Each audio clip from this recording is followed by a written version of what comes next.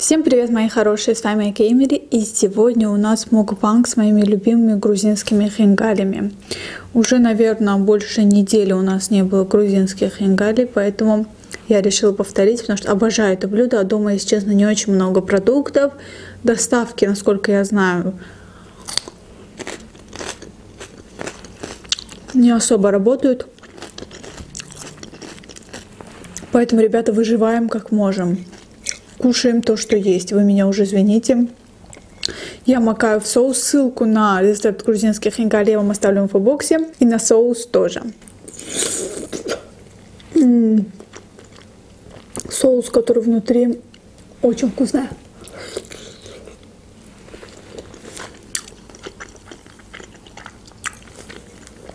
Уже четвертый день сидим дома. Не выходим никуда.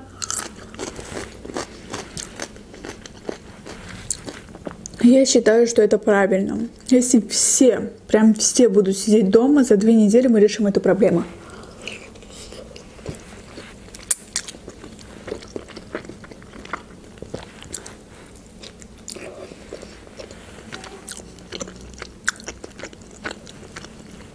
Смотрю какие-то интересные видео, интервью. Стараюсь особо, знаете, новости не смотреть, не входить в панику. Да ладно, думаю.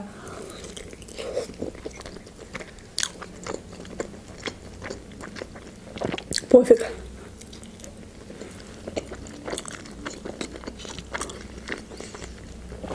А еще, кстати, вчера что произошло, сейчас вам расскажу.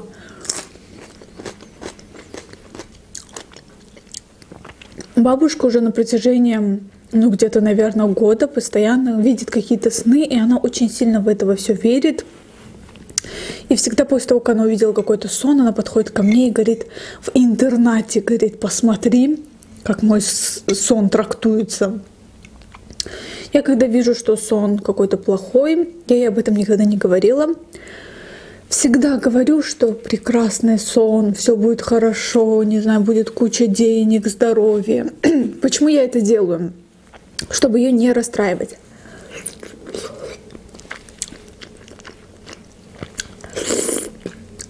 И получается, где-то год, я ей постоянно говорю, что у нее замечательный сон, все круто, там делаю что я читаю из телефона, а сама придумываю на ходу.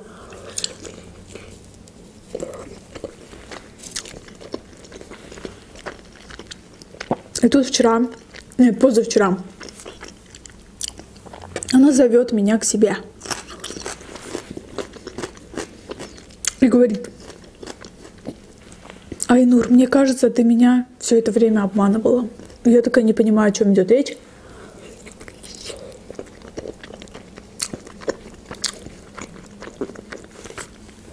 Она говорит про сны.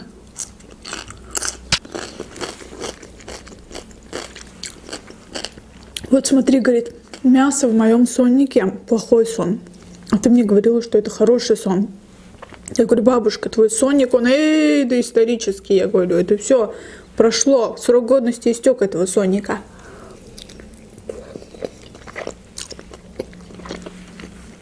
Я тебе даю, говорю, самые свежие трактовки.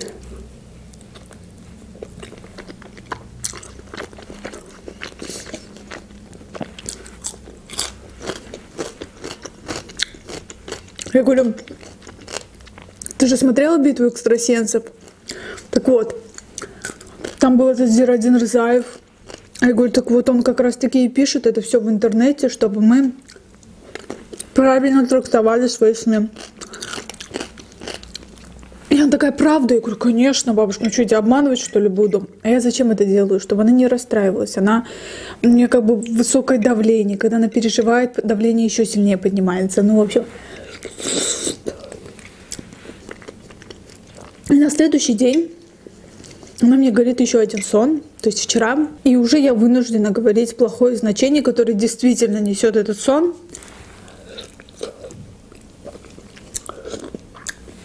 Честно, вот я сама вообще не верю в сны. Хотя пару раз даже было такое, что ну, почти вещи сны были. Но я склонна верить, что это просто совпадение. Но бабушка к этому так относится. Это вообще... Как только она понимает, что сон плохой, она говорит, дай денежку, я кину через балкон, что типа вместе с этой денежкой пусть эта беда упадет на землю.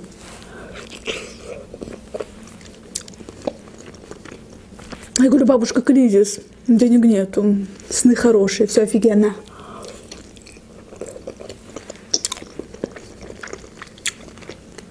Причем я вам так скажу, в интернете несколько сонников, и каждый трактует так, как считает нужным. То есть в одном соннике может быть это значение хорошее, а в другом соннике ужасный сон.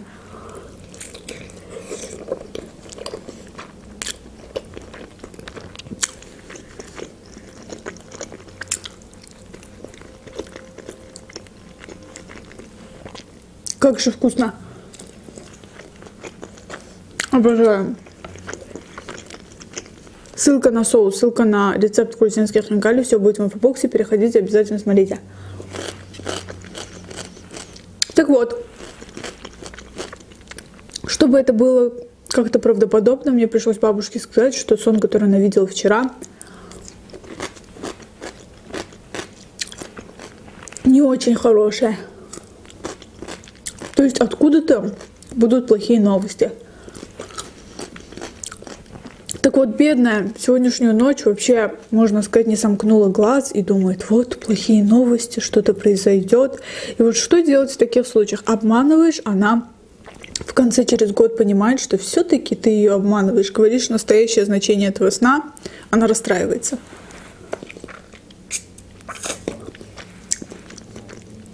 Как действовать, непонятно.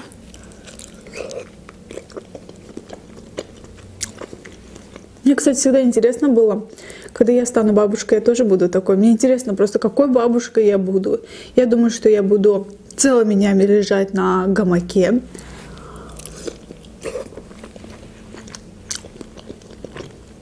В руках планшет, и я веду прямой эфир.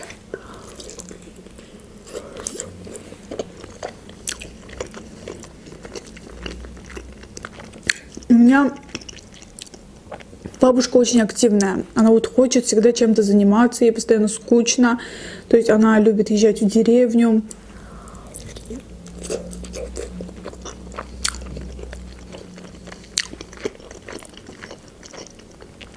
Мне кажется, я буду другой бабушкой.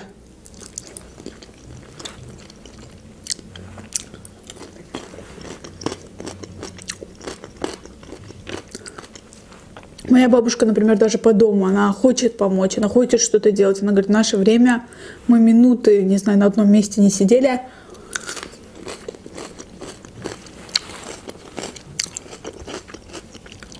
И она не может смириться с тем, что она уже пожилая, как бы ей тяжело это все удается, но ей хочется что-то делать. Так вот, я уверена, что когда я буду пожилая, мне ничего не хочется, мне не будет ничего хотеться.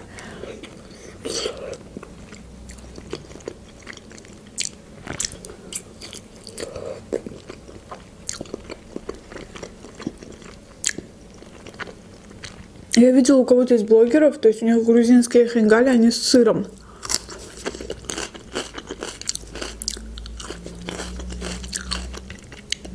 Я прям очень хочу попробовать, потому что никогда в жизни не пробовала. Мне с мясом вообще очень нравится.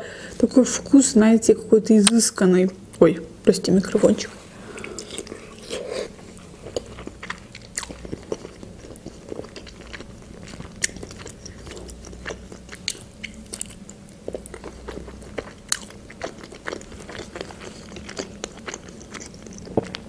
Сегодня онлайн заплатила налоги. Точнее, не заплатила налоги, а предоставила отчетность. Потом нужно пойти заплатить. Мне кажется, в данный момент государство как никогда нуждается в наших налогах.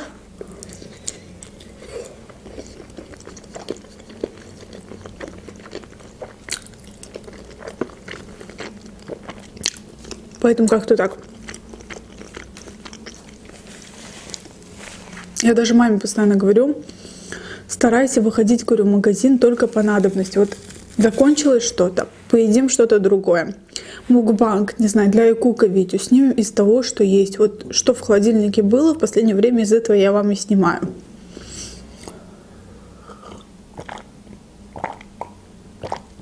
Этот момент жизни нужно как-то переждать, пережить. И тогда все будет круто. Я надеюсь, что к лету все исправится. Я так хочу на море. Я реально так хочу. Не прям на море, я хочу в аквапарк. Я очень люблю аквапарки. Мне как-то, если честно, немножко противно море в том плане, что последний раз, когда я была на море года два назад, там плавали медузы, и это было не очень красивое зрелище. И после этого я поняла, что если я поеду, я поеду только в аквапарк. Причем в хороший, дорогой, где будет очень мало людей. Я просто из тех людей, которые любят отдыхать редко, но прям вот по кайфу, да, хорошенько отдохнуть.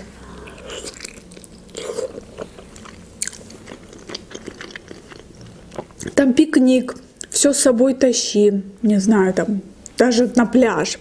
Самовар, дрова, то, все.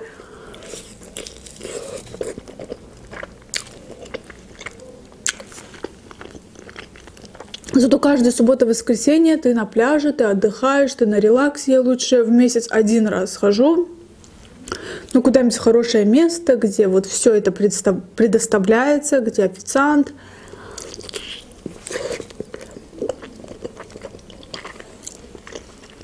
Он и чай принесет, и уберет все.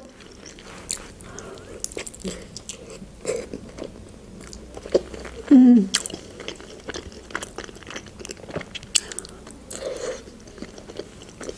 Будем надеяться, что до лета эти все вопросы будут решены. Не знаю, мне кажется, в конце апреля это все закончится.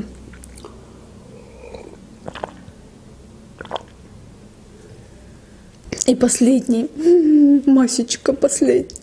Последний. Я буду скучать по вам. Видите, смотрите, какой бульон. Прям течет, он очень вкусный.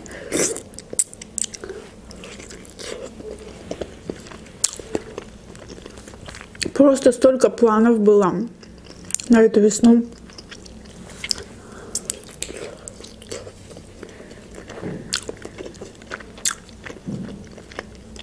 Столько желаний. Я думала, мой парень приедет, мы будем в этом ресторане, в другом ресторане. Там пожрем, здесь пожрем. Нифига. Сижу дома.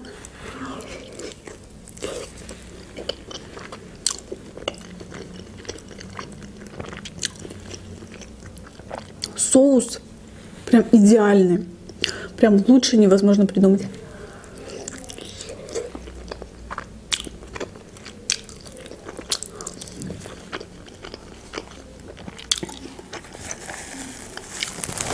Я доела, было очень-очень-очень вкусно. Обязательно приготовьте. Идеальная еда. Я очень скучаю по Макдональдсу, по KFC, по фастфуду, но, к сожалению, стараюсь ограничивать себя во всем этом. На этом все. Всем желаю удачного дня, приятного аппетита. Я вас всех очень сильно люблю. С вами была Эмили. Всем.